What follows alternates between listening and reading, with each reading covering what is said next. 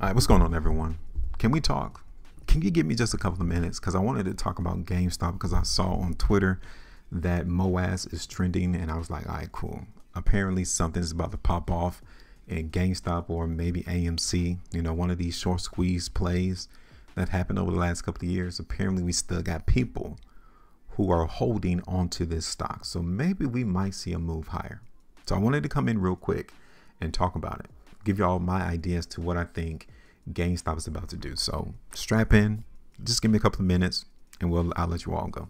Now if you appreciate the videos and the content, come on board, hit the like button, you know, share, subscribe for more of this content. All right, so now real quick, let's zoom in on GameStop. And you all can see here that, well, yeah, price really hasn't done too much over the last couple of months in GameStop. Matter of fact, we've seen pretty much someone in GameStop trying to buy this market right around here. Somebody's not letting that stock fall below $17, maybe $20 or so. Somebody's propping up the stock. Somebody, I don't know. It might be uh, that Griffin dude, the one who was playing the opposite side of the short sale. Or it may be an insider for GameStop. What's the guy's name? Cohen? But somebody's buying this stock. Hmm. We like when we see these things off of our price chart because it gives us a clue.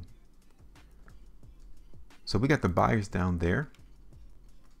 And in GameStop, we really got sellers all the way up here around $30. So maybe we might get a squeeze to that particular level.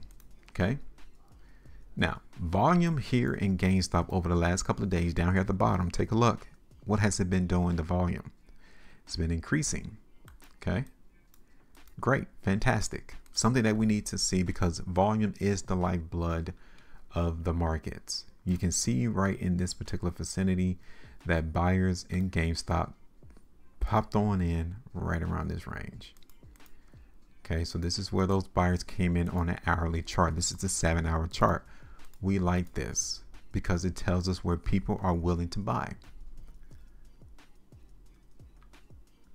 Let's take a look at GameStop on the monthly chart because we're starting out in a new month. And look what happened. Look for the, the month of August. You're trying to tell me that throughout the month of August, we saw price go all the way down to a low of $18.73 to see it close towards the high of the bar at $23.42. See, that wouldn't happen if people were not buying the stock. It would not have happened, but it did. Again, this is stuff that we like to see in terms of higher prices. Here's GameStop's on the, on the five weekly time frame. Here it is on the three. I like the three weekly, even though it's not printed yet. But what we have right now definitely looks pretty bullish off of the back of the prior three weekly price bar. Okay.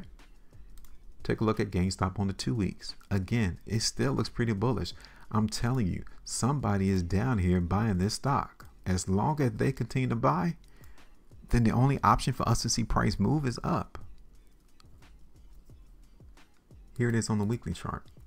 Look how we ended for the week. We closed at the high of the bar off of this prior weekly price bar to where the market also closed at the high. So I think GameStop wants to go up. I, I think so. Now, I'm not going to be the one to tell you that we're going to see the market at GameStop run to a thousand dollars. That's not me. That this ain't that channel.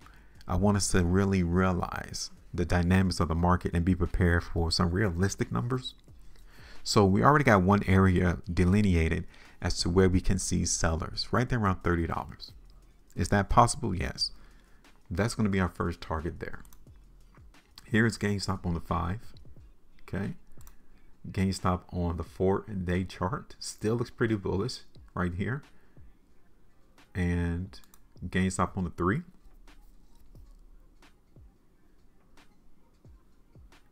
GameStop on the two. Okay. And GameStop on the day. So yeah, we're going to look for the market in GameStop to go up. Now, we've already, I've already shown you where buyers are And this is it. I don't want to see the market buyers relinquish this price level because if they do, then this price from this is not going to work out. Period. Okay, so we got that shown. We got this target up here to where we think buyers, or I'm sorry, sellers are. So that's going to be one of our targets here. And either at the low or the high. At the low, it's going to give us around like 23% move. But at the high of the bar, it's going to give us, I mean, at the high of the sell zone, it's going to give like 28 and a quarter percent move higher there. Now, could we possibly do another sell zone? Let's see. Because here is another massive sell zone right here. Okay. Right there is a, is a massive sell zone. So I don't know if Ken Griffin really begins to offload his GameStop here or whoever is trying to sell, short sell or cover their short sales into the market. They really don't want to let the market price go this high. That might be a target. And that's like 60% run. That's crazy. So just think about it. It's possible. But we're going to do another target right here, though, around 33 $34. It's like 44, almost 45% run there. So I'm to leave that, that uh, sell zone up here at the top. Okay, so if it does hit it, hey, I've already gave you heads up. All right, but that's all I got. Give me your thoughts. Make sure you maintain profitability, and as always, trade different.